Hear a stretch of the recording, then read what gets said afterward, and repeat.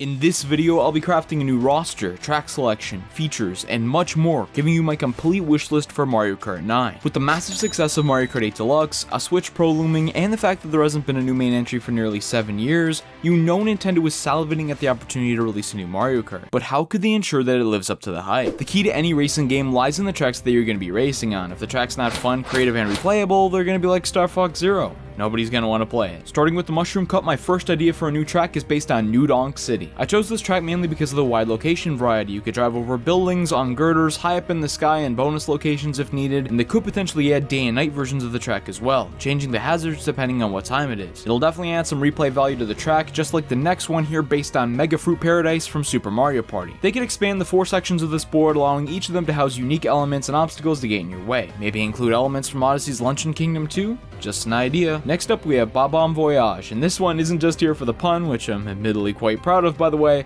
but it's also a pretty cool concept. The course starts on a battleship captained by Admiral Bobbery from Paper Mario. Everyone's gonna plunge off the plank into the sea where an underwater section of the track occurs. Everyone's gonna get pulled up by an anchor at the end of the session, and it's gonna cycle for three times. I can see this one getting really hectic. And we'll finish off this cup with a spooky track based on The Last Resort, the hotel from Luigi's Mansion 3. There have been Luigi's Mansion tracks before, but this one would be unique because of the great level variety between the floors in this game that could be taken advantage of. But the cups are only going to get crazier from here because the next one we're starting out the Flower Cup with the Woolly World track. With the unique aesthetic of the cardboard from this game, it provides so many creative possibilities. The multi-layer component of the Yoshi gameplay could also work really well in a Mario Kart format. Next up we have Mario Circuit. Now there's a new version of this in pretty much every Mario Kart and for this one I'd like it to be a pretty advanced course. There's going to be lots of tricking opportunities and shortcuts here, potentially one where we could go through the castle this time around. I think that would be pretty fun. Following that up we're going to have a course based on Hazy Maze Cave, one of my favorite levels in Mario 64. It'll have many branching paths and shortcut opportunities, it'll have a darker and industrial vibe as well, while also having some natural elements at the same time. And the final track of the Flower Cup is going to be the Bumper Ball Pit. This is a unique idea based on the Bumper Ball minigames from Mario Party. Racers go through various areas that the minigame has taken place in over the years, culminating in a mad dash through a pit of bumper balls ridden by various Mario Party characters, maybe in the original art style that they appeared in. You'd certainly have to be on your toes for this track. Next up we have the Star Cup and kicking it off is the Cloud Kingdom from Mario Odyssey. This may not initially be your first choice for a track idea because there's admittedly not much to do here, but that's what I love about it because there's so much room for creativity. While in the clouds, new platforms could appear soon before reaching them, rewarding precise pattern memorization for experienced players, while also making it easier for those in later positions. Hazards could be hidden behind clouds as well. The next track we're going to call The Belly of the Beast. This is an original track idea being based on the inside of Bowser as portrayed in Bowser's Inside Story. There's so many unique areas here that a track could be based on, including Pump Works, the Flab Zone, Nerve Cluster, you name it. They've given some sort of minigame in the game for each one of these. Why not give us a track based on it? There's a ton of material. Next up, we're gonna have Goomba Iceland, a winter-themed course with ice rinks featuring the skating Goombas from 3D World, along with several snowy hills to provide a unique terrain. The final track in the Star Cup is gonna be based on the Tiny Huge Island concept, using the world from Mario 64 as a base, but also combining the appearances in various 2D Mario games that this concept has been in. It'll feature a variety of large and small enemies, obviously, and could potentially be a one-lapper going along with the mountain theme of Mario 64's version,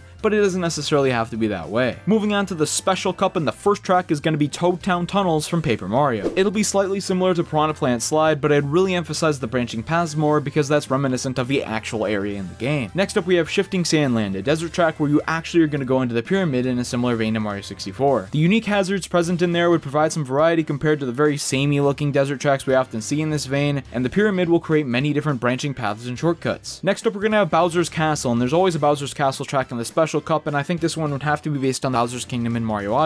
A really cool concept I think that could be added to this is springing up the walls off of the Pokio enemies. And we're going to conclude this cup with Rainbow Road. This track could potentially reference the Rainbow Ride stage from Mario 64 by containing the house and the carpets, but there would definitely need to be some uniqueness added in like the most recent one. There also has to be many branching paths and shortcuts here to emphasize it as the true hardest track in the game. And before we jump straight into the retro tracks, I just want to mention that a large portion of my viewers aren't subscribed to the channel. If you enjoy the content and want to see more of it, I'd really appreciate it if you could just check because it's free and you could absolutely unsubscribe later if you don't want to. With that all being said though, let's just jump straight back into the tracks. Now one thing that you should know about these retro tracks is that I'm not including any from Mario Kart 8 Deluxe in here. This is because I don't necessarily know if Nintendo would want to bring these tracks back because they're playable in another game on the Switch already. I feel either Nintendo brings back every single track from Mario Kart 8 Deluxe for Mario Kart 9 or they bring back no tracks, so we're not going to talk about them in this section, and we'll give the spotlight to other tracks that aren't currently playable in a Switch game. I feel that makes more sense. The first cup here is the Shell Cup, and the first track for it is Figure 8 Circuit from Mario Mario Kart DS. This track has only appeared in that game so far, and I think a reimagined version of it could really work. There's a lot of space and a lot of opportunities for long drifts to build up speed, and adding in some shortcuts and tricking opportunities could really take this to another level. Next up, we have Sunset Wilds from Mario Kart Super Circuit. This one's a lot of fun, has a ton of Shy Guys, and a unique aesthetic that was actually brought back from Mario Kart Tour as well, but we don't really count that. Following that, we should get DK Summit from Mario Kart Wii, a very nice icy mountain course that's beloved by fans, and I'm surprised it wasn't brought back from Mario Kart 8. Finally, we're going to close this cup out with Mushroom City from Double Dash, a really unique looking one with lots of potential tricking opportunities and areas to add anti-gravity. We move on now to the Banana Cup, and the first track is Cheep Cheep Island from Super Circuit. This is a very nice beach setting in the sunset which could look great in HD. Following now, we have another retro track being Toad Factory from Mario Kart Wii. This is a fun industrial track with a variety of unique looking areas. Then we have Wario Stadium from Mario Kart 64. This is the second longest track in the game, containing several sharp turns and bumps, providing potential shortcut additions and rewarding experienced players. Also, the only track that hasn't been brought back from Mario 64 yet, surprisingly one of the fan favorite ones too. And we're going to close out this cup with Moonview Highway from Mario Kart Wii. This has a nice nighttime city look, giving us one of those crazy crowded street courses that we frequently receive in the series. Moving on now to the Leaf Cup. We start this off with Lakeside Park from Super Circuit. This takes place in a forest with a volcano and some sharper turns. It's considered to be one of the most difficult courses in Super Circuit, so bring it on. Next up we have Wario Shipyard from Mario Kart 7. This has a really cool aesthetic and concept being based on a sunken pirate ship in the stormy weather, which if updated with anti-gravity could produce some really fun sections on the sides of the ship. Next up we have another Mario Kart 7 track, this being Rosalina's Ice World. This is a very beautiful location from the game, and if it's upscaled to HD, it could definitely be one of the most visually pleasing tracks in all of Mario Kart. Potentially more branching paths in the underwater segment can make the gameplay of the track more interesting as well. Next up we're gonna have Bowser's Castle from Double Dash. This is a really cool castle track that hasn't been remade yet. It's filled with lava, Podoboos, the works that you generally expect to see in something like this,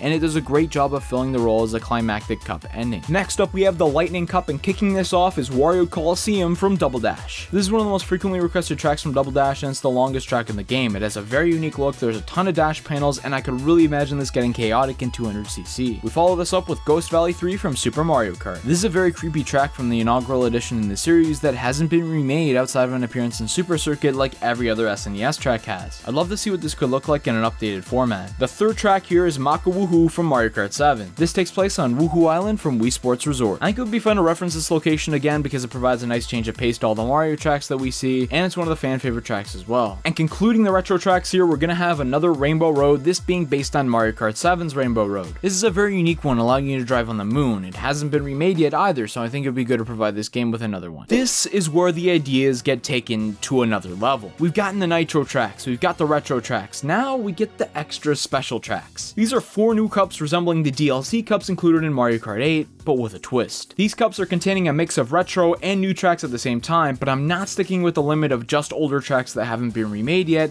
like I did for the previous retro tracks. The series is gonna run out of retro tracks in this vein anyways, especially since I don't want to put any Mario Kart 8 tracks on here, so we're going with fan favorites this time. A new cup idea I have here is called the Shine Cup, and the first track here is Waluigi Pinball DS. We've never experienced this crazy track on the big screen yet either, I think fans would just love to see it. Next up we have an original track idea here being the Great Plateau from Breath of the Wild. Since I'm not bringing over Mario Kart 8 tracks, I think if we are carrying over the characters, Link should still have a track to call home. This is the most iconic and memorable area from the game, there will be lots of open space here, but you could potentially go in and out of shrines as well for some added variety. Next up we're gonna have a track based on Noki Bay from Mario Sunshine. This gets one of the more unique looking areas from the game included here, there are a variety of locations with unique platforming sections and I just love to race along them. It may also be a tease for one of our new character ideas as well, but we'll get to that in a little bit. And finally we're gonna get a new F-Zero track based on Phantom Road from F-Zero GX. We're only having two Rainbow Road tracks in this hypothetical Mario Kart, so basically implementing F-Zero's knockoff as a darker equivalent could be really cool. The next new cup idea I have is called the Splatting Cup. I bet you can see where this one's going, but we're gonna start out with a fan favorite retro track, this being Coconut Mall from Mario Kart Wii. We're going with two retro tracks in each cup from here on out, just like Mario Kart 8's pattern established, and this is the first one out of the two. So many people simp for this track in the comments, and I kinda get it because it's fun and there's some branching paths and shortcuts,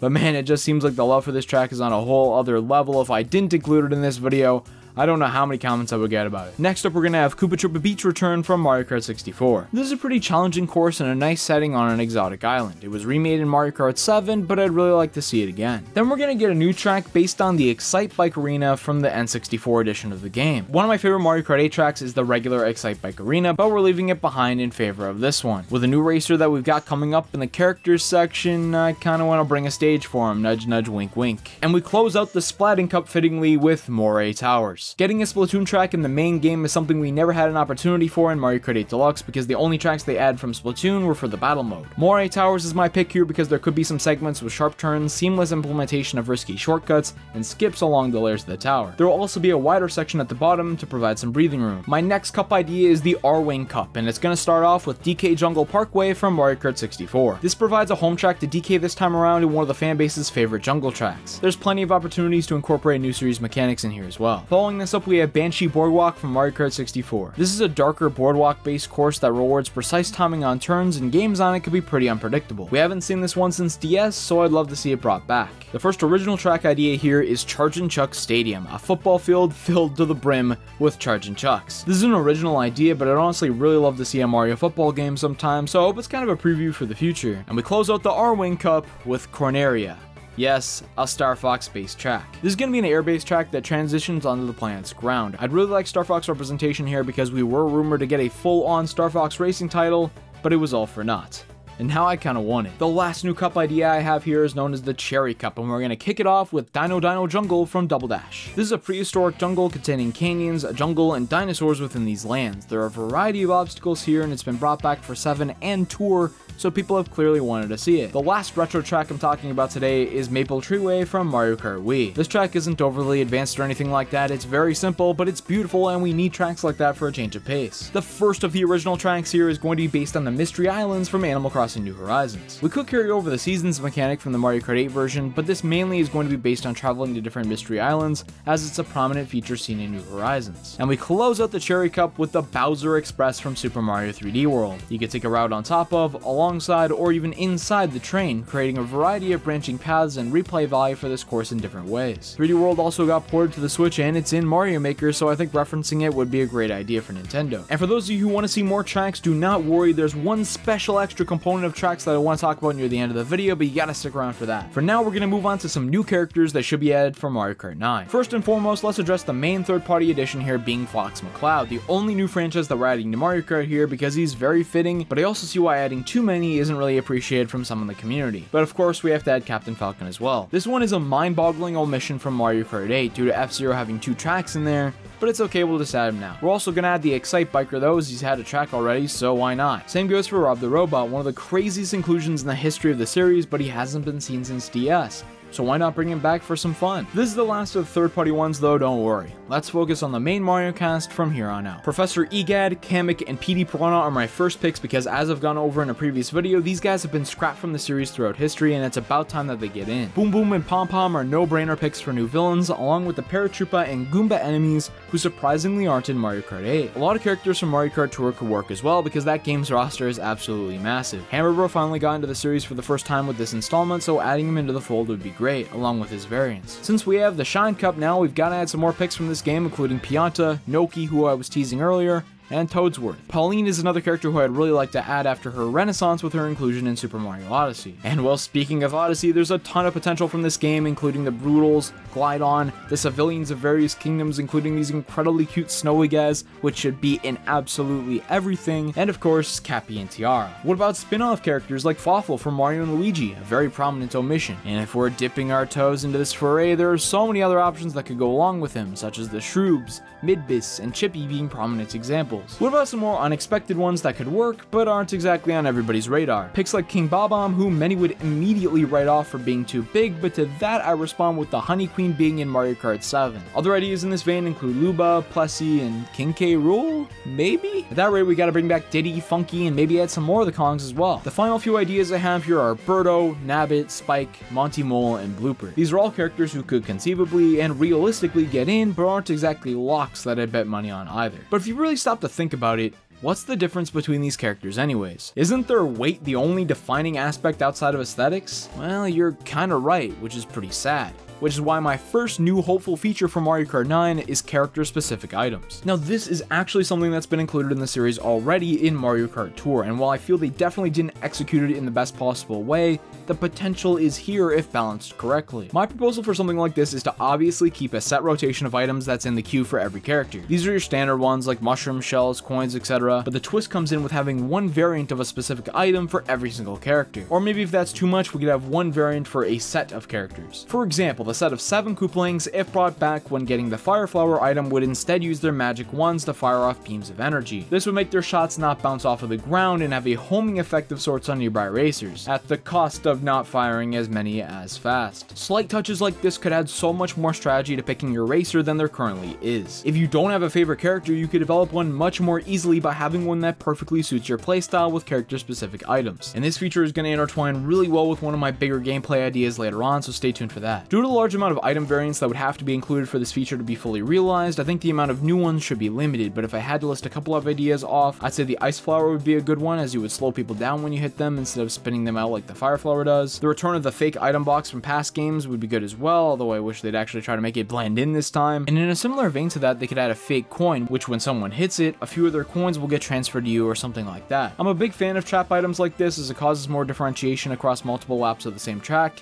and more obstacles to be wary of as the game progresses. Shifting back to the characters a little bit here, and one more element that I'd like to be added to the characters is variance. We already have this sort of in Mario Kart 8 Deluxe, but it's poorly implemented. Yeah, you could change the colors of Yoshi and Shy Guy in their own separate menus, but I'd be so down for Nintendo adding many more new costumes like this in the game. Imagine if we got a Wario Man outfit for Wario, a crown change for King Boo, a simple Breath of the Wild tunic for Link, this would add so much customizability to a game which already embraces it. This, again, is a step that Tour is taking in the right direction, which makes me hopeful that Nintendo would actually do this in a mainline entry you know, just not with $50 gacha packs everywhere. But how could they implement this in a way that's fun to unlock them? Well, our next new feature idea is an achievement system. Achievements would mainly provide an incentive to play every day both online and offline, and you would actually be able to receive the palette swaps this way as well by completing certain courses with specific characters under certain circumstances. I like the idea in this case for every character to be unlocked by default because it provides an even playing field for the character specific abilities and races, but there's gotta be an incentive for playing a lot to keep the community active, and an active community means more updates are required from the developers, meaning more balancing and features for convenience sake will be brought to the game. It's just a healthy state for the community to be in. But yeah, these achievements are all well and good, a nice idea, but where's one of the main places that you could start to earn them? Let's start with a big new feature the story mode. This has been something that's been sorely lacking in the Mario Kart series for quite some time now, and not even present in most entries. When new Mario sports games are initially revealed, I always ask for a campaign with some semblance of a story to be included for the main reason of it giving a place to learn the basics and eventually finer aspects of gameplay in a way that feels naturally progressive. A bunch of characters' alternate looks can be earned throughout this experience to provide an additional incentive for going through this outside of just the learning process. One prominent feature of this story mode would be the boss fights, which are going to make a return for the first time since Mario Kart DS. The main reason bosses were included in DS was because the models for them were already being used in other games on the console at the time, so it was pretty easy to just transfer them over and make a mode with them. They may not have this luxury entirely with the Switch, but if they put in the extra effort that they've had the time to do since Mario Kart 8 released almost 7 years ago, we could be in for something really fun to change up the pace from just doing standard races all the time. Mario Kart is at its best in multiplayer, everyone knows that, but there's no reason for why the single player can't be emphasized more. A story mode would be fantastic for this. One of the key aspects for both single player and multiplayer, as we've mentioned already, is replayability. In tying this back into the characters with unique abilities section from before, what if Mario Kart 9 had a double dash mode? Giving two characters for you in the cart will give access to two different types of exclusive items which could significantly increase the strategy in choosing characters and increase replayability. Because not only will you have an incentive to try out every character individually, but you'll also now have an incentive to try every combination of characters to see what's best for you. This double dash mode should definitely be optional though, as I know many people prefer having just one character in the cart but if it's a separate option, I don't think anyone's gonna have a problem with it. And if they don't want to use the Double Dash name as they feel that would be outdated, they can maybe go with Switch It Up or something like that, but maybe good and not what I came up with. But where would you be able to showcase your skills with this new component of gameplay to the fullest level? With this would come in the online mode. And man, do I have some hopes for this one. First things first, I've got to admit, compared to some of the other games that they got out there, Nintendo's online system for Mario Kart 8 Deluxe isn't that bad. They strike a good balance with this system as they throw three tracks on the screen you could vote for which one you like or a random option if you don't like any of the three, and they go through every single player's vote and randomly pick one of them to choose the course for everybody. This allows for lobbies to fill up instantly because there wouldn't be any need to worry about everyone flooding a Moo Moo Meadows lobby and you not getting your lobby on your favorite track that nobody really wants to pick. Not that they'd really need to worry about this for 30 million people playing the game,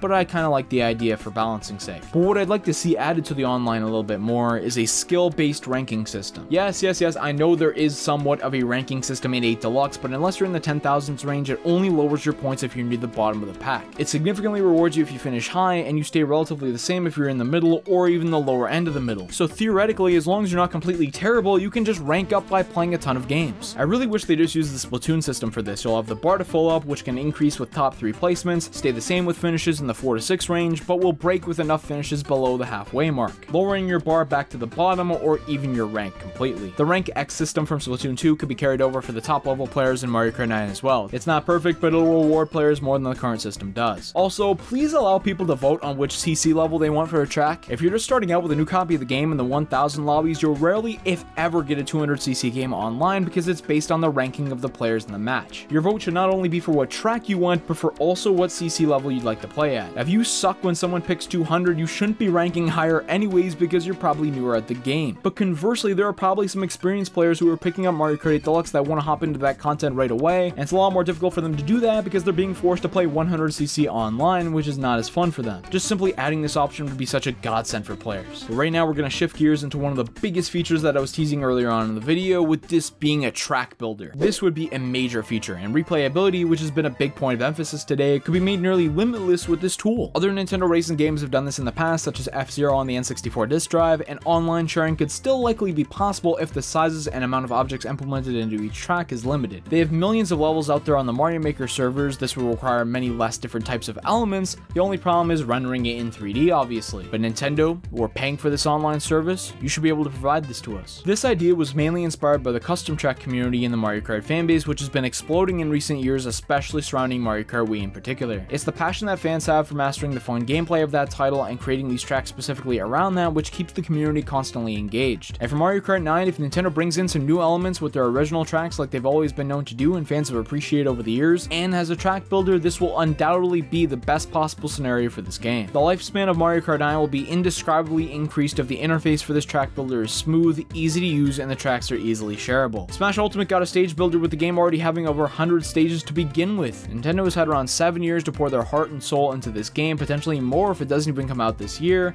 and if a Switch Pro comes out like it's rumored to, it could allow the game to run even smoother and further flourish in the graphics department. This is one of my most wanted features in Mario Kart by far, and if it makes the cut, Mario Kart 9 could definitely become my favorite entry in the series. I've got one more big feature that I also want to talk about today, this being a new battle mode. If you recall in the original Mario Kart 8, they didn't really have a battle mode as you had to play the few games that they brought to the table on their regular tracks, which they clearly weren't originally designed for. But then it got improved for Mario Kart 8 Deluxe with custom arenas and even more modes being added in. And I think for this to reach its full potential, there would have to be some more interesting concepts to get incorporated here with this newfound battle mode. Bring back the modes from Mario Kart 8 first and foremost, but the first new idea that I have is a Rocket League style mode. Now I know, I know, this is kind of crazy, but just hear me out. Rocket League was a very popular game over the last decade or so. You basically drive around in a car and bump a ball into the other team's goal. It's mainly played in 3 versus 3, but you can change the amount of players to whatever you really want. And if brought over to Mario Kart with the same drifting mechanics and items that make the series unique, this could be really fun. Now if you're worried about Nintendo getting sued over including a mode like this, obviously ripping them off, you may want to look back to Metroid Prime Federation Force and one of the modes included in that game, which was Blast Ball. This is a mode that you could actually download for free on the 3DS without actually having to buy the game, and basically you just shoot the ball into the other team's goal in a very similar system to Rocket League, just with no cars. I really doubt Nintendo would be worried about a lawsuit here, but they could obviously change it up more from the prototypical Rocket League gameplay. I just think a mode in this style would be really cool. Shine Runner should also make a return for Mario Kart DS. Basically, in this mode, 9 shines are placed all over the stage and you are tasked with collecting as many as possible before the time limit expires. The players with the least amount of shines would be eliminated then after that time limit. It's a very cool concept and I'd like to see an additional mode on top of this as a modified version where let's say there are 12 players and only 11 shines. You're limited to holding only one, kind of like a musical chairs setup. Once everyone collects their shine, at the end of the round, one player will be eliminated, and then this process will continue until all players are eliminated, with you obviously losing your shine at the end of every round. I can see appeals to both types of these modes. I'm not really sure which one I'd like better, but I think offering an alternative that some may prefer would be a good idea. I think both could be really fun. The battle mode of Mario Kart is just one of those components that I could see just breaking out in popularity if the right features are included in it, and there's so many more ideas that could be included as well. Comment your hopes for Mario Kart 9 below, subscribe, and I'll see you soon.